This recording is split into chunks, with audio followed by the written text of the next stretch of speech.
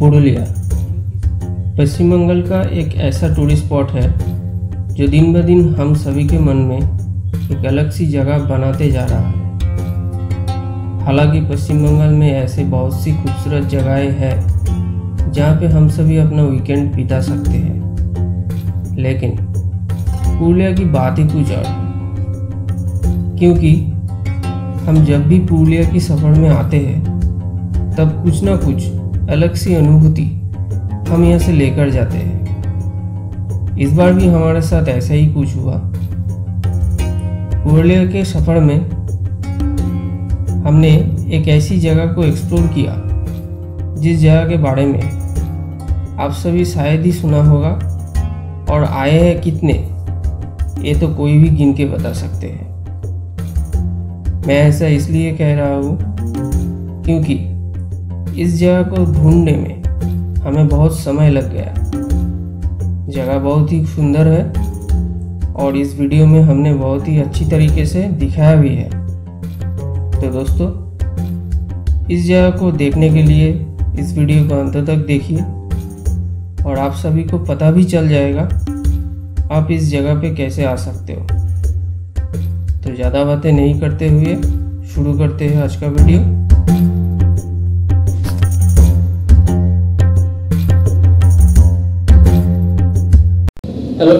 Friends में आप सभी का स्वागत है।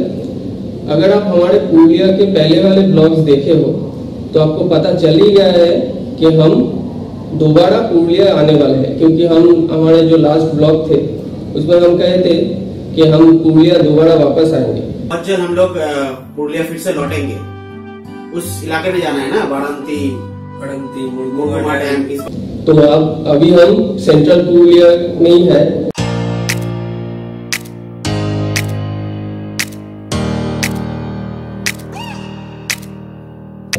असल में सेंट्रल जो पुरुलिया है वो बहुत बड़ा इलाका है।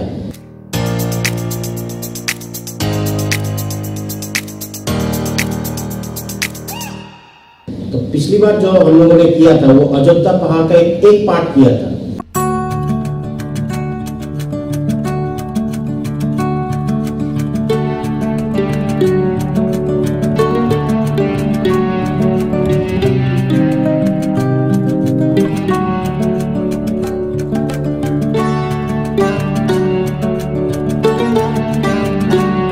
सब्सक्राइब ज़रूर कीजिएगा चैनल को। और घंटी घंटी।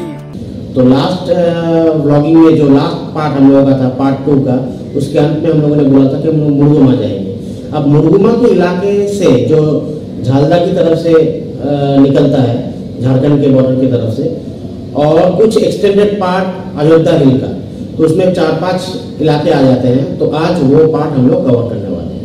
आज थर्टीन सितंबर है कल रात को हम लोगों ने ग्यारह पाँच का चक्रधरपुर पैसेंजर पकड़ा।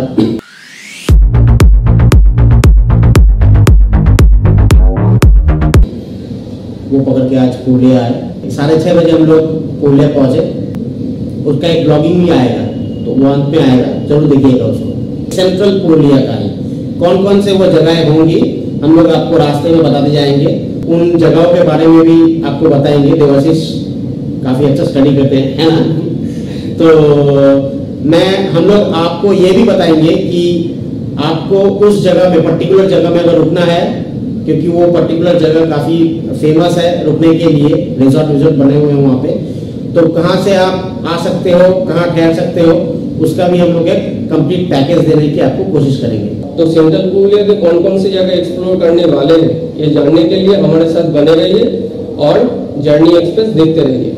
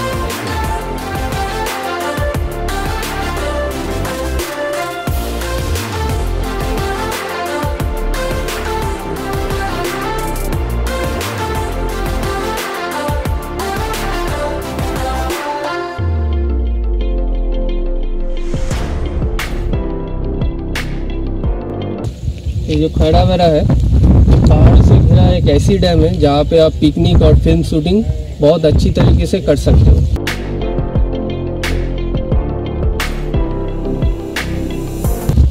और ये जगह अगर आप बलरामपुर से आना चाहते हो तो आपको 29 किलोमीटर दूरी तय करना पड़ेगा। और अगर बलरामपुर में ठहरना चाहते हो तो आप ठहर भी सकते हो, वहाँ पे एकोमोडेशन मिल जाएगा आपको।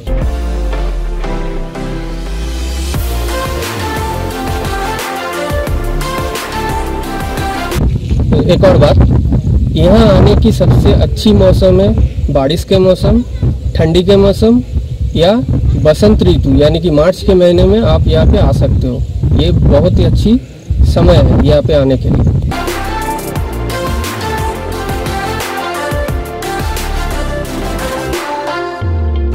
चलिए फिर मिलते हैं चलिए अगले डेस्टिनेशन में।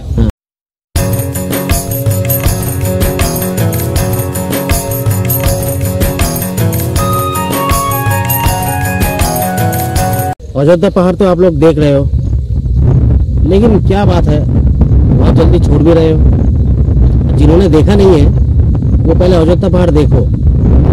ठीक है ना? छोड़ मत देना उसे अंत तक देखना। ये वीडियो ये वीडियो देखने से पहले अयोध्या का जो पहला वाला वीडियो तीन चार वीडियो हमने पुरुलिया का डाला है हम्म। उसको देख लेना ज़रूरी है क्योंकि अगर आप डायरेक्ट ये वीडियो देखोगे तो कुछ समझ में नहीं आएगा। आप लोग सोचोगे जो नए सब्सक्राइबर जो है या फिर जो नए दोस्त देख रहे हो हमें तो आप सोचोगे कि क्या वीडियो डाला है, बाकी डिटेल्स तो नहीं दिया है। तो इससे पहले जो पुरुलिया के वीडियो हमने डाले हैं, वो ज़रूर देख लीजिए।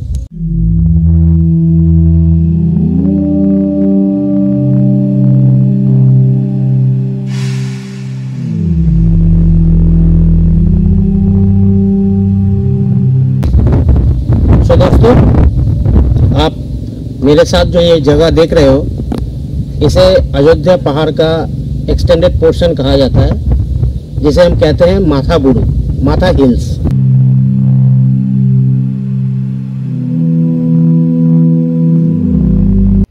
यहाँ पे एक आनंददायक, यहाँ पे परिवेश है इन्वायरमेंट है।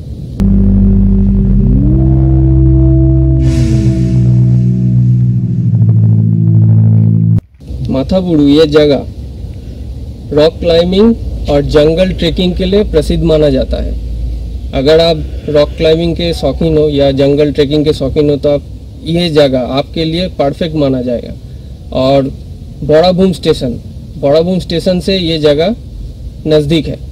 हम लोगों ने काफ़ी एक लंबी यात्रा की।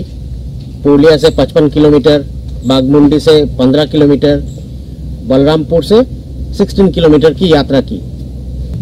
हमारा जो अनुभव है, वो तो काफ़ी रोमांचित है। लेकिन आप वीडियो देख के वो रोमांच अनुभव नहीं कर पाओगे जितना खुद आप आके आप यहाँ पे अनुभव करोगे।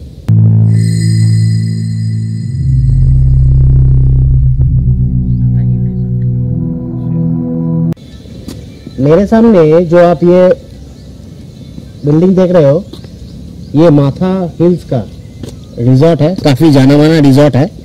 माथा हिल रिजॉर्ट कहते हैं इसे।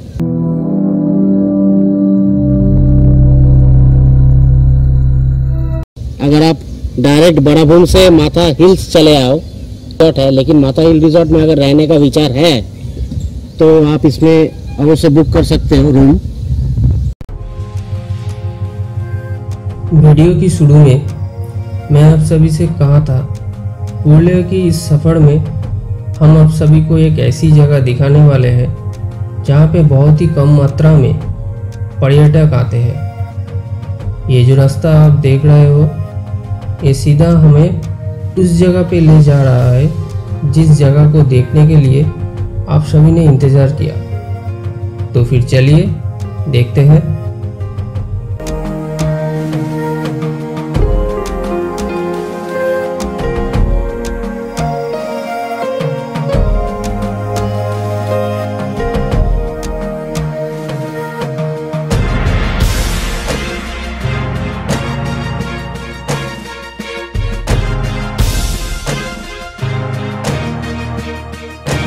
मेरे पीछे जो डैम देख रहे हो, आप ये देखो।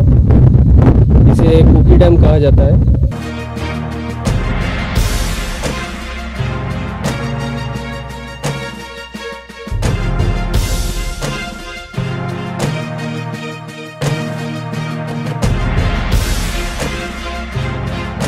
लोग जानते नहीं आप कुकी डैम के बारे में कितना जानते हो।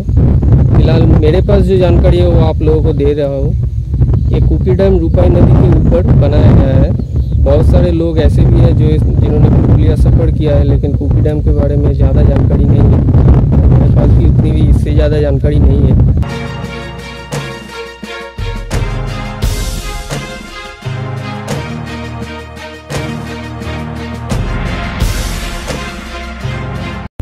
इस प्लेस को हमने खोजा है। बहुत मुश्किल से खोजा है। हमारे ड्राइवर साहब को भी पता नहीं था। गूगल गूगल मैप भी अपना हाथ उठा दिया।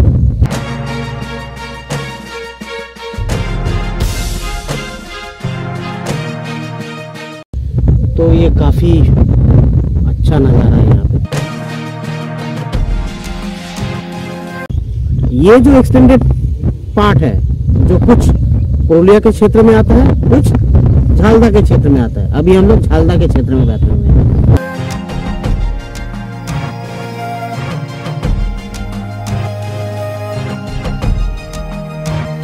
कोई बड़ी बात नहीं है यहाँ पे आने में।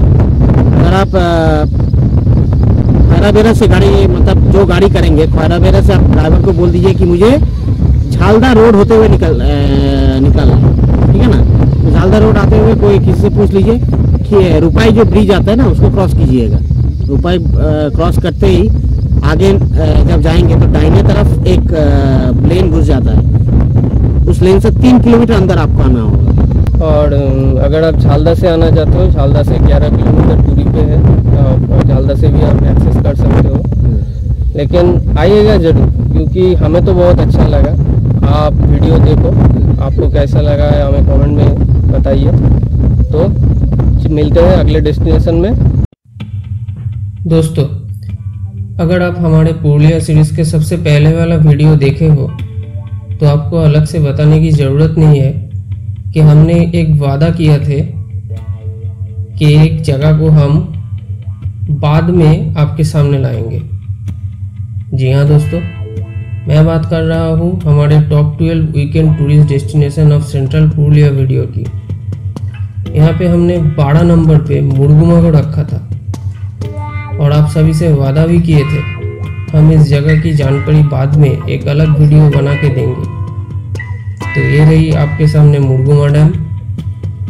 आप इस वीडियो के माध्यम से मुरगुमा डैम को देख रहे हो और हम भी अपने किए हुए वादा को निभा रहे हैं। डैम कैसा आपको। अनोखा है ना?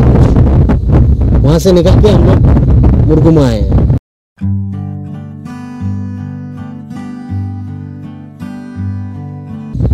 तो आप मुरगुमा डैम की सौंदर्य देखिए हमारे साथ और जर्नी एक्सप्रेस देखते हैं।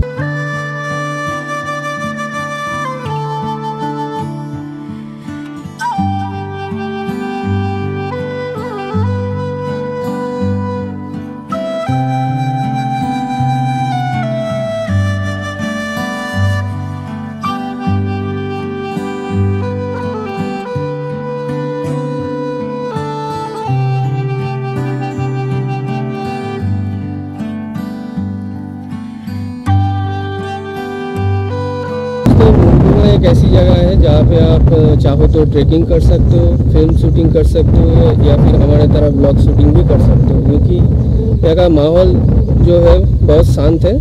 शूटिंग के लिए परफेक्ट है।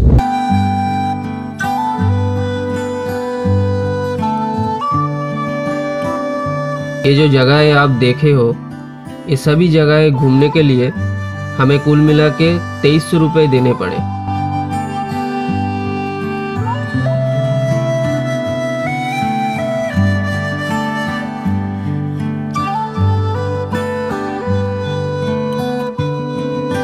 अगर आप मुरगुमा आना चाहते हो तो आपका नज़दीकी स्टेशन पड़ेगा झालदा, जो यहाँ से 15 किलोमीटर दूरी पे है।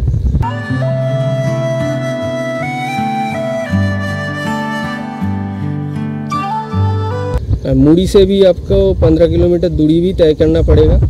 अगर आप पुरुलिया से आते हो तो 55 किलोमीटर। और अगर रांची से एयरपोर्ट से होके आते हो तो आपको 70 किलोमीटर दूरी तय करना पड़ेगा। और यहाँ आने का सबसे सही मौसम है बारिश के मौसम, ठंडी के मौसम और ख़ास करके बसंत ऋतु, क्योंकि बसंत ऋतु यानी कि मार्च के महीने में अगर आप आओगे तो यहाँ पे लाल पलाश फूल की जो सौंदर्य है, वो आपको देखने को मिलेगा। मुरडुमा में अगर आप रहना चाहते हो तो यहाँ पे बॉनपलास रिसोर्ट है। वहाँ पे आप रह सकते हो। इस बार सेंट्रल पुरुलिया हम जिस गाड़ी में घूमे, चलिए उसके बारे में जान लेते हैं। तो दोस्तों, पुरुलिया के इस सफ़र में हमारे साथ है कुलचंद गोस्वामी पिछले हमारे साथी थे मिस्टर अशोक सिंह। तो ये हमारे इस बार के साथी। तो इनका जो नाम और नंबर है हम डिस्क्रिप्शन बॉक्स में डाल देंगे। आप वहाँ से कलेक्ट कर सकते हो। जल्द लौटेंगे। तो तब तक के लिए हमें आज्ञा दीजिए और देखते रहिए जर्नी एक्सप्रेस